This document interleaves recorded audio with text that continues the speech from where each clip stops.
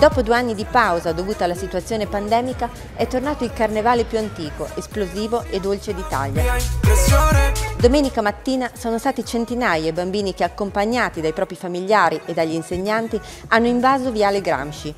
Un mix di colori, musica e voglia di ripartenza sono stati gli elementi che hanno caratterizzato il clima della bellissima mattinata, spensierata e gioiosa. Protagoniste le scuole, in totale 29 classi delle scuola primaria, due gruppi di scuola secondaria di primo grado, una scuola dell'infanzia e una scuola parentale, che hanno partecipato con tanto impegno ed un incontenibile entusiasmo alle attività legate alla manifestazione, che ogni anno coinvolge migliaia di visitatori. Stamattina che cosa rappresentate qua al Carnevale? Il nostro titolo è Dalla notte stellata all'alba di un nuovo inizio, proprio per augurare loro di avere una vita lunga, felice eh, e anche dopo questo periodo così di chiusura vogliamo ridare una spinta al coraggio, alla forza, alla ripresa, alla a riprendersi la vita in mano. Ecco. Che cosa rappresentate con queste maschere? Presentiamo prendendo il nostro titolo è Arte o Stile, quindi giochiamo su questo lo stile dell'arte o l'arte come ostile a, agli avvenimenti che comunque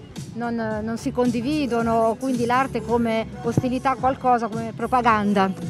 Grande coinvolgimento dei ragazzi con questo progetto Scuola Carnevale. Extrascolastico, pomeridiano, e c'è stata una bella partecipazione di tutti i ragazzi. I ragazzi sono stati contenti? Allora, il progetto è, diciamo, soprattutto è volto a quei ragazzi che mh, hanno bisogno di esprimersi anche attraverso altre modalità, altri canali e quindi è stato un progetto molto efficace che li ha fatti lavorare in gruppo e li ha eh, molto motivati in questo lavoro.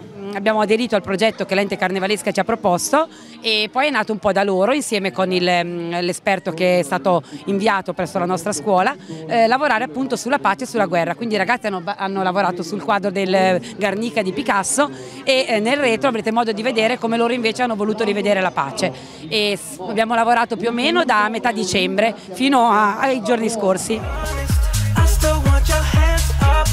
Noi rappresentiamo animal art, gli animali nell'arte, quindi nella fantasia della, dei bambini, nella mente dei bambini. Rappresentano qualsiasi, la tigre, falco, lupo, l'aquila, e il drago. Siamo veramente molto ma molto contenti perché è un'esperienza per me più unica che rara, proprio irripetibile, io devo dirvi sì. Quanto tempo avete messo per preparare le mascherate?